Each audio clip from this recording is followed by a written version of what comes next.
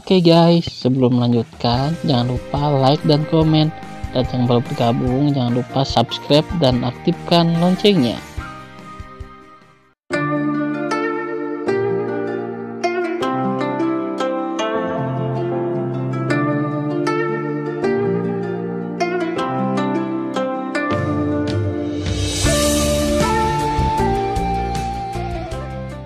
Episode 44. Melanjutkan cerita sebelumnya. Hanya melihat mayat-mayat yang secara bertahap dingin di tanah ini, hati Ling Yao telah menjadi badai. Dia tidak bisa memberikan jawaban yang jelas ke mana harus pergi setelah meninggalkan tanah suci. Suara mendesing. Pada saat ini, kristal yang mempesona akhirnya beresonansi dengan bunga teratai kelahiran. Mata tubuh Bai Lian Sui yang tertutup sempurna perlahan terbuka, tetapi tidak ada kecemerlangan sedikit pun di mata. Saat cahaya yang berkilauan mengikuti pupil dan akhirnya bergabung ke dalam kontur yang sempurna ini, teknik kebangkitan berakhir. Kulit Su yang sedikit pucat. Itu sekuat dia, dan kekuatan mental yang dikonsumsi ketika melakukan hukum yang menentang surga juga tidak terbayangkan oleh orang lain.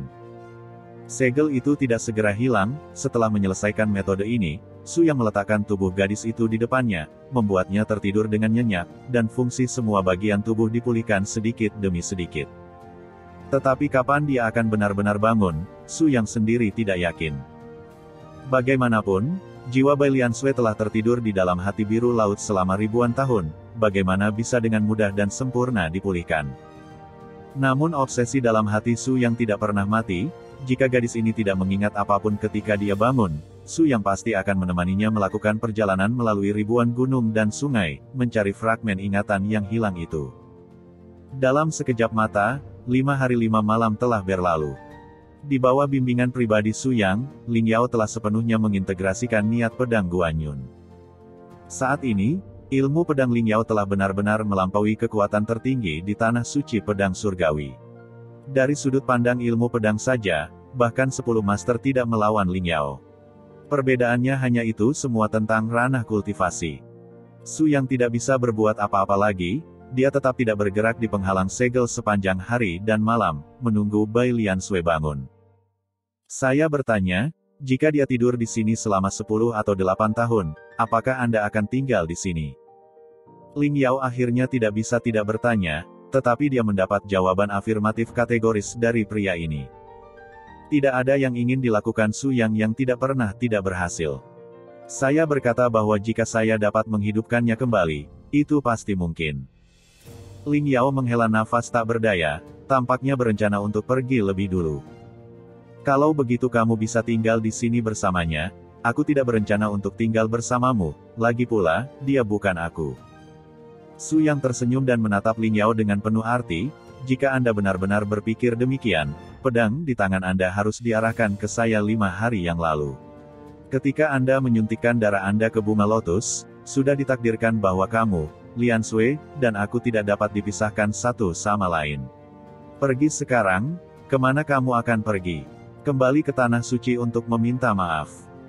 Kata-kata Su yang benar-benar mengganggu rencana Ling Yao yang sudah ditentukan, dia hanya mengumpulkan keberanian untuk kembali ke tanah suci dan kembali ke tanah suci pedang. Lalu apa yang harus aku lakukan? Aku akan menunggu di sini tanpa henti bersamamu. Jika tanah suci menemukanku sekali, mereka pasti akan menemukan kedua kalinya. Aku tidak punya cara untuk membebaskan diri. Su yang sepertinya tiba-tiba memikirkan sesuatu, dan kemudian menyerahkan Ling Yao senjata ajaib yang menyerupai kompas. Kebingunganmu, itu bisa membantumu menyelesaikannya. Ling Yao mencoba menerobos sumber ke dalam kompas ini, dan terkejut untuk segera berbicara. Ini, ini senjata ajaib yang bisa menyembunyikan asal nafas. Luar biasa, kamu masih memiliki harta karun semacam ini. Su yang mendengus, saya telah hidup selama seratus ribu tahun, pertempuran macam apa yang belum pernah terlihat di daratan. Begitu kotak obrolan dibuka, Su yang memberitahu Ling Yao tentang beberapa pengalaman masa lalunya. Terutama ketika membahas topik yang berkaitan dengan basis kultivasi, Ling Yao hampir sepenuhnya bodoh. Dia tidak pernah bermimpi bahwa ada kultivator aneh seperti Su yang di dunia ini, tetapi justru, dia telah mencapai basis kultivasi Su yang yang hampir tak terkalahkan, mampu mengendalikan aura segala jenis atribut di mana pun di dunia. Luar biasa dan mengejutkan untuk dipikirkan. Kemudian, keduanya menyebutkan topik 3000 negara bagian. Uh, tidak, jangan. Tiba-tiba, Ling Yao merasakan sakit yang hebat keluar dari kepalanya, dan segera setelah itu, fluktuasi semacam ini juga terjadi pada tubuh Bai Lian Sui di dalam segel. Tampaknya inspirasi yang tak terhitung jumlahnya telah berkumpul bersama. Lian Sui. Rasa sakit muncul di wajah yang berkontur sempurna ini, yang juga membuat Su yang merasakan sentuhan kejutan. Karena secara teori, selama muncul umpan balik fisik seseorang, hal itu dapat menunjukkan bahwa teknik kebangkitan ini pada dasarnya berhasil. Kebangkitan. Tuan, jangan tinggalkan aku, Tuan. Mendadak. Mata indah Bai Lian Sui melebar, Postur tubuhnya mencondongkan tubuh ke depan dan duduk tegak, matanya tertegun dan dia mengamati sekeliling, dan akhirnya mengeras di tubuh Suyang. Lian Sui, kamu akhirnya bangun. Suyang tertawa begitu bahagia untuk waktu yang lama, dan membawa Bai Lian Sui ke dalam pelukannya, dan gadis itu juga meneteskan air mata. Sepuluh ribu tahun, hampir sepuluh ribu tahun, saya pikir akan sulit bagi saya untuk bertemu guru lagi sepanjang hidup saya. Su yang dengan lembut membelai ujung rambut Bai Lian Sui, saya berkata, saya harus membiarkan Anda hidup kembali, dan Anda tidak mengecewakan saya. Ling Yao bingung, tampak memiliki wajah yang tenang, tidak ada pasang surut. Hanya saja ketika dia melihat Bai Lian Sui di depannya, keduanya memiliki kasih sayang yang hampir sama pada saat bersamaan. Benar, ini jenis keintiman yang asing dan akrab. Tuan, saudari ini yang membantuku hidup kembali, kan? Tanpa menunggu Su yang memperkenalkan, Ling Yao mengambil inisiatif untuk mengulurkan tangan. Halo saudari, nama saya Ling Yao. Selamat, kebangkitan sukses. Kedua tangan dengan lembut menyatukan tangan mereka, dan suhu yang akrab berpindah ke tubuh satu sama lain. Tetapi saat mereka saling menyentuh kulit, rahasia milik 3000 negara bagian di kedalaman pikiran mereka terguncang lagi. Ling Yao merasakan sakit kepala, dan Bai Lian Sui jelas akan melompat keluar dari serangkaian fragmen memori yang rumit di benaknya. Guru, saya memikirkan beberapa bagian tentang 3000 negara bagian. Su yang tidak menyangka bahwa gadis ini akan mengambil inisiatif untuk mengemukakan insiden tersebut dengan tidak sabar, dan bertanya, apa yang disebut rahasia menakjubkan dari 3000 negara. Bai Lian Sui berkata dengan ekspresi serius, ini adalah sembilan bintang dari luar langit yang telah menyegel kekuatan masing-masing untuk menghancurkan langit dan bumi ke dalam urat nadi naga. Teori pembuluh darah naga di daratan telah diturunkan selama puluhan ribu tahun. Ketika Su yang melakukan perjalanan melalui pegunungan dan sungai, dia mencoba menemukan rahasia pembuluh darah naga, tetapi tidak ada hasil, dan pada akhirnya itu bukan apa-apa. Ada banyak versi legenda tentang urat naga di berbagai bagian daratan, tetapi sampai sekarang, belum ada yang benar-benar melihat wajah sebenarnya dari urat naga, dan lebih banyak orang mulai curiga bahwa pernyataan ini salah. Tapi sekarang, Bai Lian Sui yang bangkit kembali membawa rahasia ini ke dalam bidang penglihatan Su yang sekali lagi. Menurut apa yang kamu katakan, 3000 negara bagian memicu kemunculan aneh dari kekuatan di luar langit. Apakah mereka bahkan mengeluarkan rahasia pembuluh darah naga? Bai Lian Sui mengangguk dengan sungguh-sungguh, iya. Ini masalah besar. Hampir semua orang yang telah memperoleh rahasia ini akan punah oleh keberadaan tertinggi dari 3000 negara bagian, hanya menyisakan sembilan biksu muda dengan kualifikasi yang sangat baik. Bagilah rahasia ini menjadi sembilan bagian dan memasukkannya ke dalam pikiran mereka, dan saya adalah salah satunya. Semakin banyak Bai Lian Sui berkata, Semakin mengejutkan jadinya, dengan rahasia di langit, bahkan Su yang tidak bisa tetap tenang. Alisnya terkulai, dan pikiran yang tak terhitung jumlahnya melintas di dalam hatinya. Berapa banyak yang mungkin kamu ingat sekarang? Setelah waktu yang lama, Su yang sedikit mengernyit dan bertanya lagi. Bai Lian Sui mencoba memejamkan mata, memutar otak untuk memulai ingatannya tentang masa lalu, Ekspresinya sedikit menyakitkan, tetapi dia masih memberikan beberapa jawaban yang jelas. Gunung Seribu Buddha. Menara Linglong. Hu Xinyu. Juga, sekelompok figur tanah dan beberapa penganut Tao yang berpakaian sangat aneh.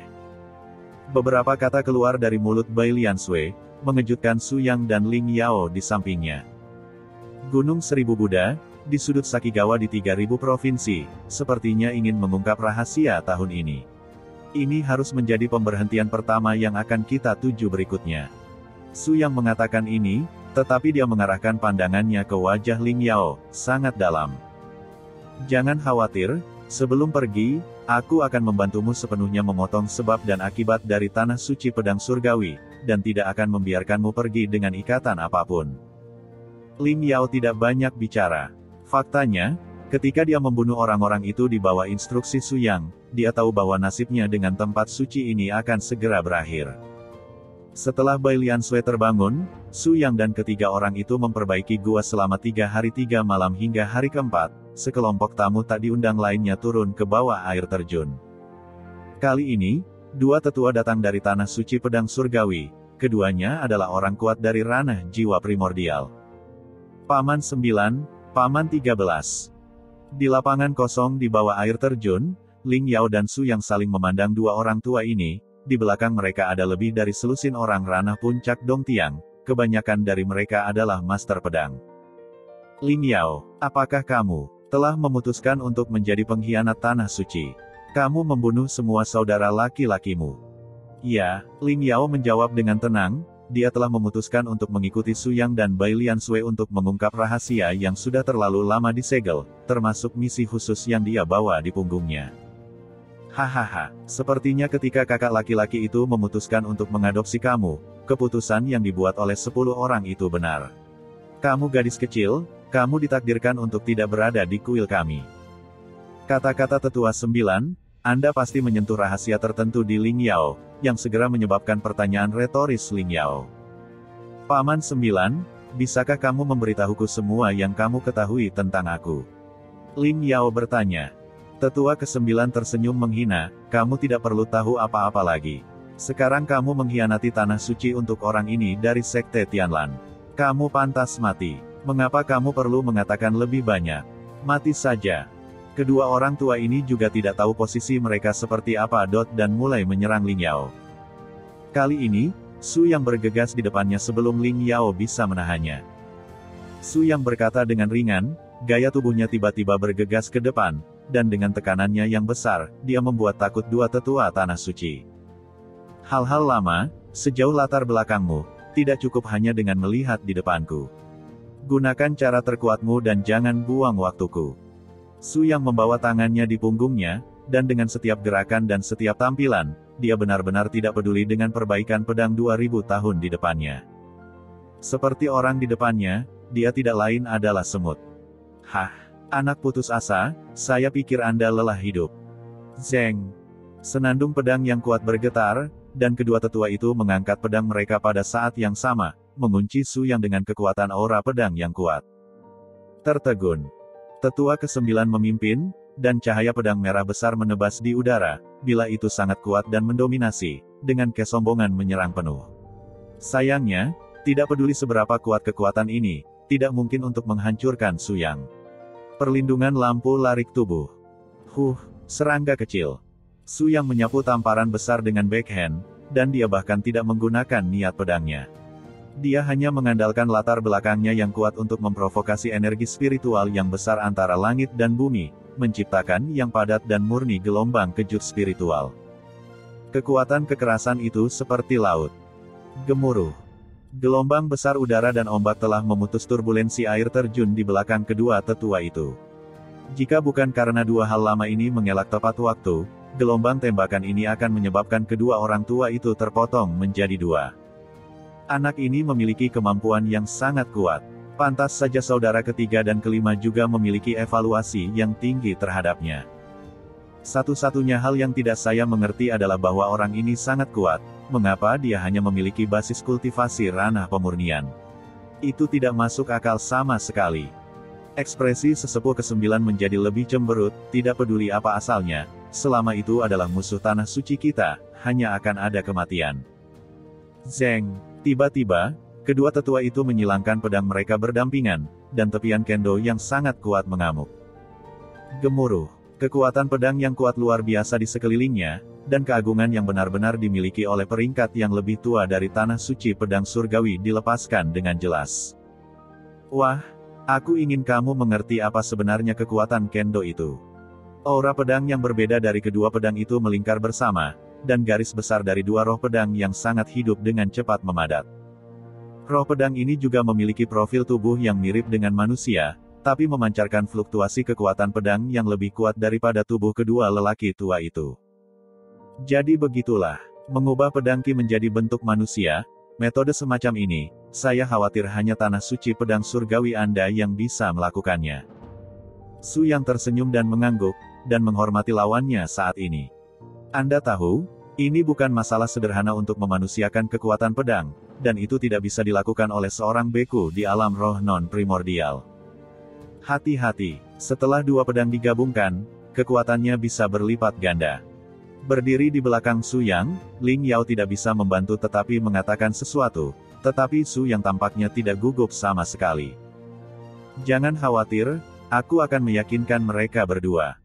Tiba-tiba Su yang mengangkat telapak tangannya ke langit, dan dalam sekejap, angin bertiup dan langit menjadi gelap. Astaga, latihan macam apa ini?